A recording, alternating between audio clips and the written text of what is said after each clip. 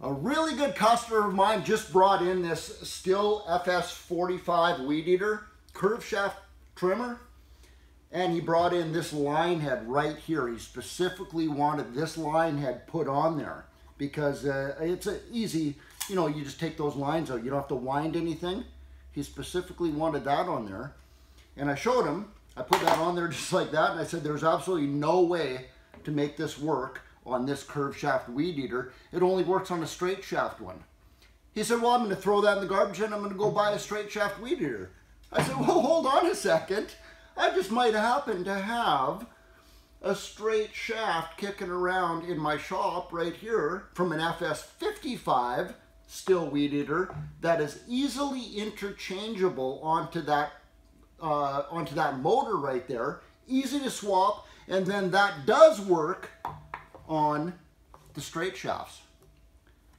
He said, giddy up, give you a case of beer. I said, done deal. Let's do it right now.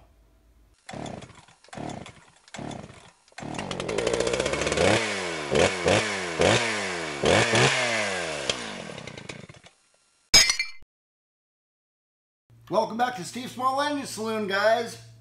.com right there, my website. Check it out when you get a chance for doing this, you guys. It is so ridiculously easy. Uh, you know what? This is like a half a beer job at the most. You don't even need to take any screws or bolts out of this thing. You do need to loosen five bolts. Here's what we do to get this shaft out. You loosen these four bolts right up by the trigger and then down here, you're gonna see these three bolts right here. Now this is important. You loosen those two off right there too. Now, even those, even though those are loose right now, you're gonna see now it, it wiggles, right? But there's still something locking it in. This is really important. That's this center screw right here. It's a short screw that goes right in to the hole in the shaft to, it's kind of a, like a locator pin. You unscrew that, you don't even need to take it out, it's pretty short, loosen it off quite a bit. Now watch this. There you go, now it's, it's out of that hole. Pull that right out. That's the hole that screw was in right there. That's your locating hole. So remember that for when we put the, the straight shaft one on. Take that one right there, do whatever you want with it. Now, easy as this, the shaft is exactly the same here, but obviously it's a straight shaft. We do the same thing. Now, this is super important, you guys. You have to have this in all the way. That same locating screw right there, get it centered and, and lined up like you think it should be, and then just start lightly screwing that in. If you feel any resistance there, it might not be in the hole, so keep wiggling this. Oh, there, it just locked in. See that? I can't pull it out. I can just wiggle it a little bit like that. That means that that screw, that locating screw right there, is actually in that hole. still wiggles a little bit, right? You just got to tighten up those other four screws now. Nice and tight.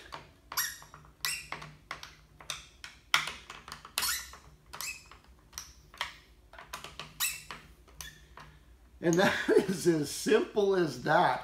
That's done. That shaft is changed on there. It's done. Now, this line head that he wanted put on there will go back, will go on this straight shaft right here. Just in case you guys are interested, here's how you do it. Make sure that that little washer thing right there is on there and then your J spacer goes on there.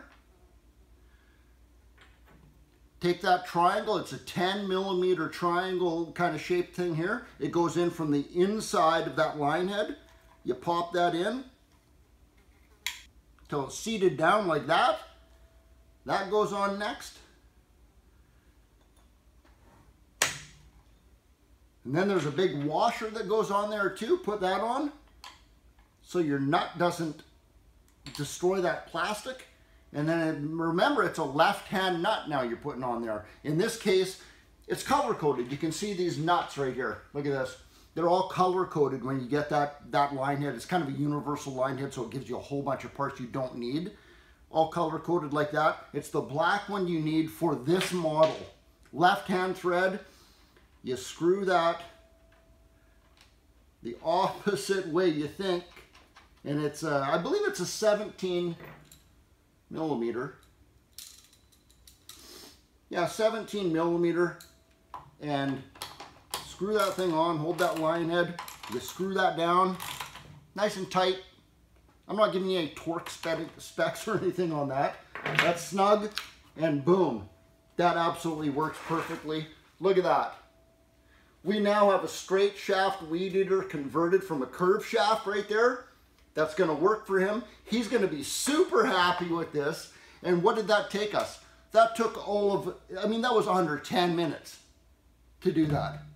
I'm just showing you that that can be done in case anybody's interested. I thought that would be a nice quick video for you guys. Give me that thumbs up button. Put some comments down under here. Subscribe to my channel. Share this with your friends if you want to. That was pretty easy. Not even half a beer like I told you. That was like one sip. Damn, I'm way behind. Till the next video, guys. Steve out.